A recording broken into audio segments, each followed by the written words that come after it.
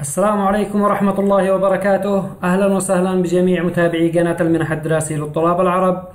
اليوم سنتعرف على منحة مميزة جدا وكما عودناكم سابقا بأننا سنهتم في المنح الممولة بالكامل. آه، المنحة آه، مقدمة لطلاب البكالوريوس والماجستير. آه، منحة ممولة سنتعرف على تفاصيلها. وكيفية التقديم لها وخطوات التقديم وشروطها وكذلك الوثائق المطلوبة للتقديم. قبل أن نتعرف على كل هذه الأشياء نحب أن ننبهكم على آه، أو نعرفكم على قناتنا المنح الدراسية للطلاب العرب. هذا القناة الذي بنعرف بنعرض عنها أو بنعرض عليها عديد الفرص وعديد المنح. في عديد من المنح الممولة آه، التي ما زال التقديم متاح لها موجودة على القناة يمكنكم الاطلاع عليها. كذلك نود أن ننبهكم بأن معلومات كل منحة سيتم وضعها أسفل الفيديو أسفل الفيديو. في معنا آه، روابط التقديم ورابط الإعلان على مواقع الجامعات. في كل منحة سنضعها أسفل الفيديو. كذلك هذا رابط مجموعتنا على فيسبوك وكذلك التليجرام وكذلك الواتساب يمكنكم الانضمام إليها ليصلكم كل جديد بالمنح. نعود الآن إلى منحة اليوم. آه، بالنسبة لمنحة اليوم كما تكلمنا هي منحة ممولة بالكامل. هذا الموقع الرسمي الموقع الرسمي للجامعة. طبعا آه، المنحة مقدمة من جامعة Universitas Teknologi Sumbawa. هذا الجامعة موجودة في أندونيسيا. المؤسسة المانحة موجودة في أندونيسيا. آه، ضمن برنامج Global Ambassador Scholarship Program for 2020 2021 هذا المنحة سنتعرف عن تفاصيلها اليوم إن شاء الله في هذا الفيديو. طبعا هذا الموقع إعلان الرسمي آه، للمنحة. فيها التفاصيل كاملة. من الشروط وكذلك فوائد المنحة وتغطية المنحة وكذلك الوثائق المطلوبة للتقديم وخطوات التقديم وكذلك التخصصات موجودة. على الموقع تخصصات للماجستير وتخصصات كذلك للبكالوريوس. قمنا بترجمتها وترتيبها على الشكل التالي. أولا المؤسسة المانحة تكلمنا عنها هي جامعة Universitas Teknologi Sumbawa اليوم لدينا منحة جديدة. المرحلة الدراسية يمكن التقديم للبكالوريوس والماجستير. متاح التقديم للبكالوريوس والماجستير. الجنسيات المسموح لها بالتقديم جميع الجنسيات حول العالم مسموح لها بالتقديم ما عدا طلاب أندونيسيا.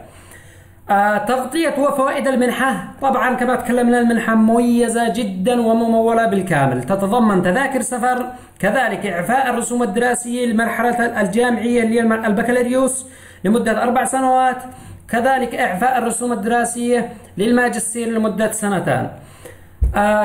كذلك المنحة تتضمن راتب شهري وسكن مجاني في غرفة مشتركة للطلاب. شروط التقديم الشرط الأول أن لا يكون المتقدم أندونيسيا. اثنين أن يكون لديه رغبة عالية في التعليم ولديه اهتمامات ومواهب وبرامج دراسية يتم اختيارها. ثلاثة الإنجازات الأكاديمية وغير الأكاديمية مثل الرياضة والفنون والألعاب الأولمبية وما إلى ذلك. أربعة أن يجيد اللغة الإنجليزية. خمسة أن يكون حاصلا على شهادة الثانوية العامة بالنسبة للمتقدمين للبكالوريوس. وستة أن يكون حاصلا على شهادة البكالوريوس بالنسبة للمتقدمين لدراسة الماجستير. هذه شروط التقديم شروط سهلة. طبعا بالنسبة لشرط اللغة الإنجليزية موجود عندما نتكلم على الوثائق أنه اختياري. شهادة إتقان اللغة الإنجليزية اختياري. يعني إذا لديك مستوى معين من اللغة وليس لديك أي توفل أو آيلتس شهادة الإتقان فليس ضروري. إنما المهم أن يكون لديك آه، مستوى معين من اللغة لكي تستطيع الدراسة. الوثائق المطلوبة للتقديم واحد استمارة التقديم الذي سنتعرف كيفية ملئها. إن شاء الله سنتعرف على كيفية ملئها. هذه استمارة التقديم.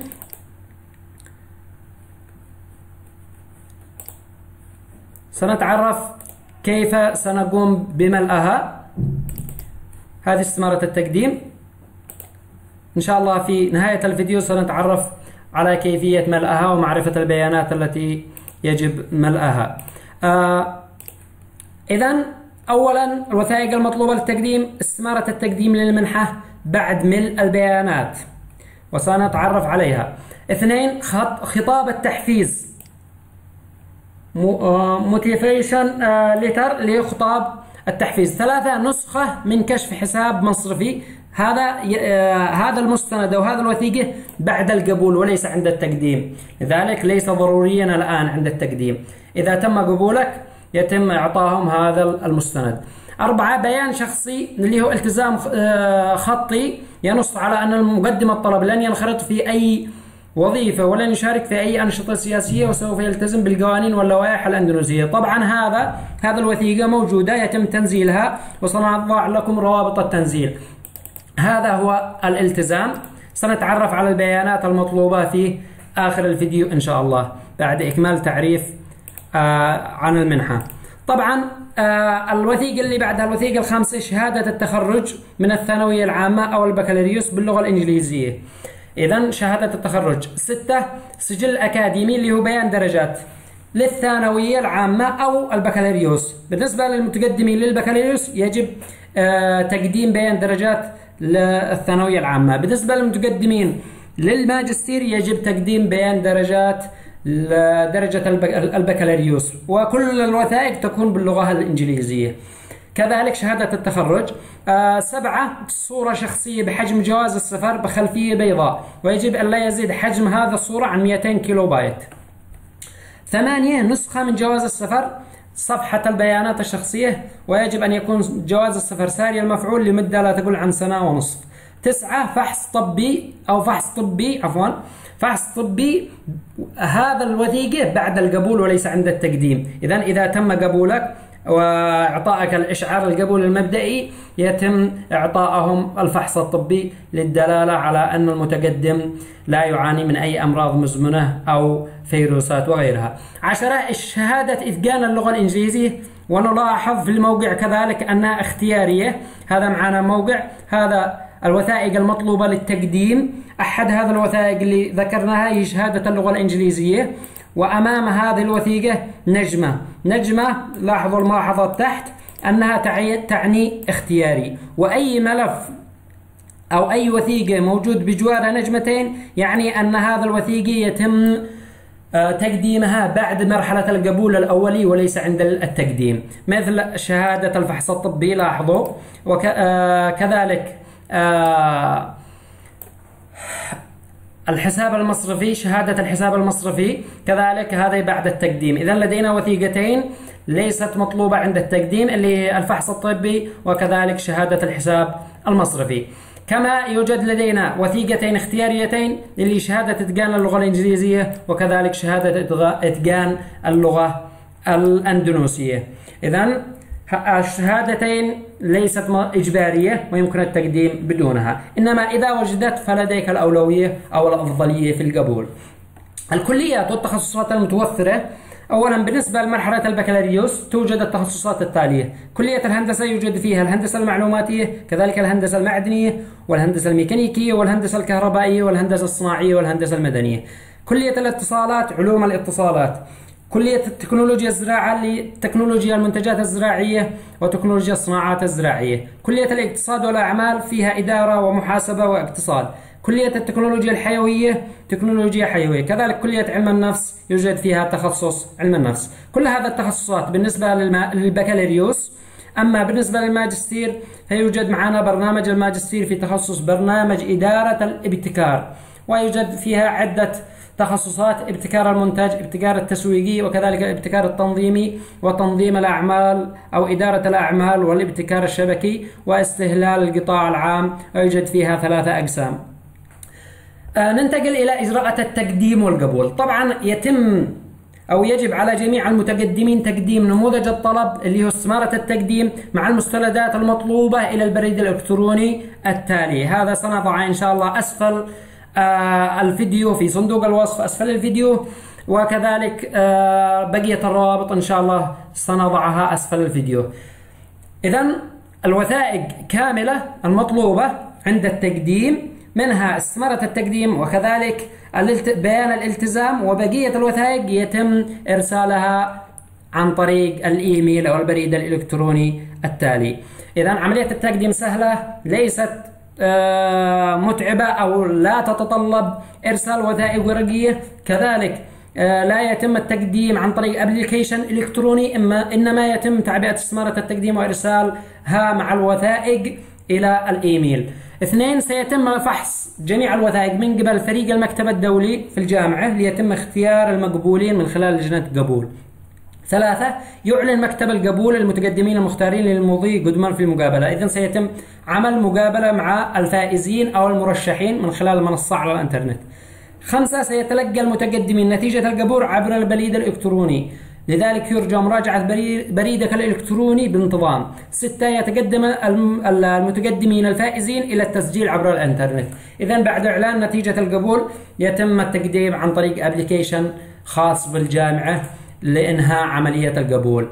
بعدها نتعرف على الجدول الزمني للمنحة. أولا فترة القبول بدأت من 21 يونيو إلى 27 يوليو 2020 ثم مددت حتى 18 أغسطس 2020 وهذا موجود على موقع الجامعة وعلى الإعلان الموجود في المنحة. لاحظوا هذا ال timeline الجدول الزمني.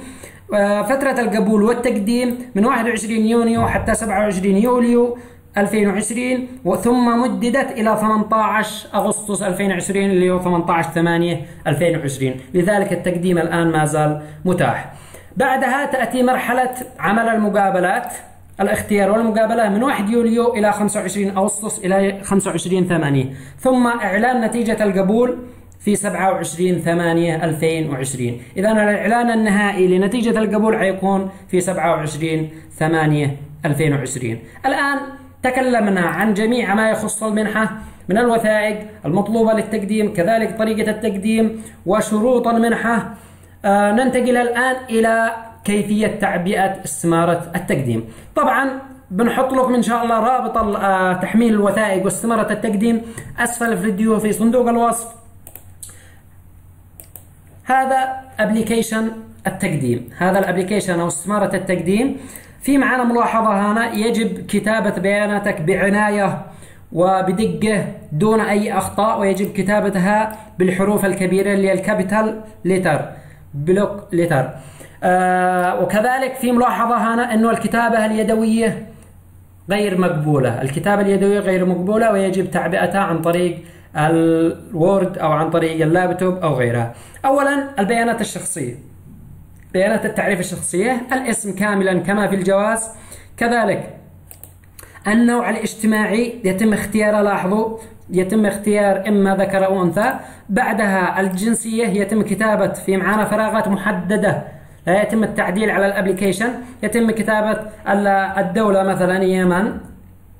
مثلا يتم كتابة البيانات كاملة. آه كذلك مكان ميلاد وتاريخ الميلاد. اذا تاريخ الميلاد place and date of birth اذا في الفراغ الأول تكتب مكان الميلاد ثم تاريخ الميلاد. لاحظوا إنه هنا في معنا خيارات لتاريخ الميلاد. بعدها رقم الجواز ثم تاريخ آه انتهاء الجواز تاريخ انتهاء الجواز آه ثم العنوان عنوان. ثم العنوان الحالي وكذلك رقم الهاتف ثم رقم الفاكس ثم الإيميل. آه ثم اسم الجامعة السابقة التي آه أو المعهد السابق الذي درست فيه. بعدها نأتي إلى الخلفية الأكاديمية. يتم تعبئة آه ما يخص شهادتك التي حصلت عليها من خلال الدرجة. كذلك اسم الشهادة التي حصلت عليها ونوعها. ثم مجال الدراسة أو تخصصك الذي درست فيه ثم خبرات العمل هل لديك خبرات عمل؟ إذا لديك خبرات عمل يتم ملئها بحسب عدد الشهادات التي لديك ممكن أنك تملأ الفراغات الموجودة. آه بعدها ننتقل إلى خطة الدراسة أو البرنامج الذي تنوي التقديم عليه. أولا استدي بروجرام اللي هو البرنامج الذي ستقدم عليه. ولاحظوا الخيارات الموجودة آه، المتاحة موجودة معنا في هذا ال application في هذا الملف ال Word الخاص بالتقديم اللي هي استمارة التقديم. بعدها فترة الدراسة ستبدأ بحسب مدة الدراسة. إذا كانت أربع سنوات مثلا تبدأ من عام من 1 9 2020 إلى 1 9 2024 مثلا أو إلى 15 7 2024 اللي هي أربع سنوات. عادة العام الدراسي يبدأ في 1 9 وينتهي في 15 7 من العام الذي يليه. آه بعدها starting of study متى ستبدأ الدراسة؟ ال program تختار الدرجة الأكاديمية التي ستقدم عليها هل بكالوريوس أم ماجستير بتضع علامة صح أو تختار المربع الذي آه ستقدم عليه الدرجة التي ستقدم عليها. ننتقل إلى آه اللغة أو إتقان اللغة. آه، هنا إذا كنت من دولة لغتها الأم هي اللغة الإنجليزية بتختار المربع الأول. أما آه، إذا كانت دراستك السابقة باللغة الإنجليزية ممكن تختار الخيار رقم اثنين. ننتقل إلى نتيجة إتقان اللغة الإنجليزية. إذا كان لديك شهادة إتقان اللغة الإنجليزية يتم كتابة نتيجة إتقان اللغة الإنجليزية أو نتيجة اختبار اللغة الإنجليزية سواء كان توفل أو آيلتس يتم كتابتها في الفراغ المخصص لها. ننتقل إلى اللغات الأخرى. إذا لديك لغات أخرى يتم كتابة اسم اللغة وكذلك آه، مستوى التحدث فيها وكذلك مستوى الكتابة. ننتقل بعدها إلى معلومات إضافية. آه، هل سبق وأن عشت أو زرت أندونيسيا؟ بتختار يس أو نو آه، إذا كان yes بتعبي سبب سبب لزيارتك أو معيشتك فيها. كذلك هل سبق أن درست اللغة الأندونيسية؟ تختار yes أو or no كذلك هل سبق أن درست اللغة الأندونيسية أو هل هل تريد أن تدرس اللغة الأندونيسية الأندونيسية خلال فترة دراستك للمنحة؟ ثم بعدها هل تريد أو آه، ستساعد برنامج UTS اللي هي الجامعة University Technology سامباوا آه، هل ستروج لها عن طريق الكتابة وكذلك عمل فيديوهات في ال social media أو غيرها هل لديك أي علاقة أو أصدقاء أو عائلة في أندونيسيا؟ آه، هل لديك أي مشاكل صحية مثل الإعاقة أو غيرها؟ ممكن أنك تكتبها في هذا الخيار. بعدها اللي هو application statement اللي هو البيان الشخصي أو الموافقة. بتوافق على آه، أن المعلومات السابقة صحيحة ولا يوجد فيها أي أخطاء.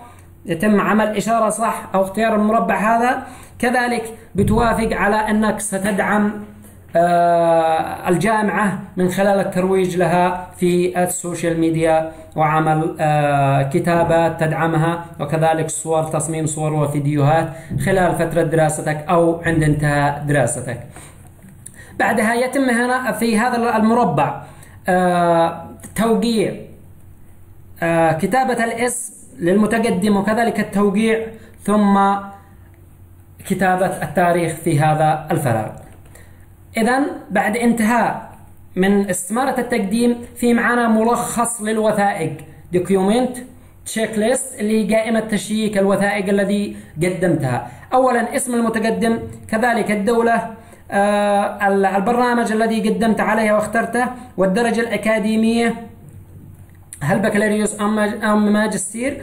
وبعدها تحدد الوثائق الذي متوفرة لديك. أولا استمارة التقديم هذا ضرورية بتحط علامة صح على المربع الخاص فيها. كذلك خطاب التحفيز ضروري جدا إجباري. آه بالنسبة لحساب المصرفي ليس إجباري إذا كان متوفر لأنه مطلوب بعد عملية القبول. آه كذلك الالتزام الشخصي هذا إجباري يجب أن يكون يجب أن تقدمه. كذلك شهادة التخرج وبيان الدرجات ثم الصورة الشخصية ثم النسخة من جواز السفر وكذلك الفحص الطبي. هذا ليس ضروري لأنه مطلوب بعد عملية القبول. لكن إن توفر فسيدعم ملفك بشكل كويس. بعدها الاختياري اللي هي شهادة اللغة الإنجليزية وشهادة اللغة الأندونيسية. بحسب توفر هذا الوثائق معك بتشيكها وبتحط علامة صح أمام هذا الوثائق. وبهذا الكيفية سننهي آه، كتابة أو ملء البيانات في استمارة التقديم. ننتقل بعدها إلى أحد الوثائق المطلوبة اللي تكلمنا عنها والذي يمكنك تحميلها من خلال الرابط الذي سنقوم بوضعه في صندوق الوصف أسفل الفيديو اللي هو خطاب الالتزام الشخصي. الالتزام الشخصي عبارة عن ورقة واحدة يتم فيها كتابة اسم المتقدم وكذلك الجنسية ورقم الجواز والعنوان. وتلتزم فيها بثلاثة أشياء. أولا أنه تلتزم بعدم مخالفة القوانين الأندونيسية والإجراءات والقواعد الأندونيسية كافة. ثانيا أن تلتزم بإجراءات وقواعد الجامعية وعدم مخالفتها. ثالثة آه، أو ثالثا لا تمارس أي أنشطة آه، تؤدي إلى ارتكاب أي جرائم أو أنشطة سياسية أو غيرها في جمهورية أندونيسيا. بعدها آه، تكتب تاريخ المكان والتاريخ الذي تم توقيع هذا الوثيقة ثم توقيع المتقدم ثم اسم المتقدم الاسم الكامل للمتقدم وبذلك نكون قد أنهينا تجهيز خطاب الالتزام أو الالتزام الشخصي المطلوب في هذا المنحة. لذا آه، بذا بهذا الشرح نكون قد أكملنا آه، شرح المنحة المميزة آه، ممولة بالكامل تتضمن كل الأشياء التي تدعم الطالب. نتمنى لكم التوفيق إن شاء الله ولا تنسوا دعمنا باشتراك في القناة وكذلك لايك وتشيروا الفيديو الدال على الخير كفاعله والسلام عليكم ورحمة الله وبركاته.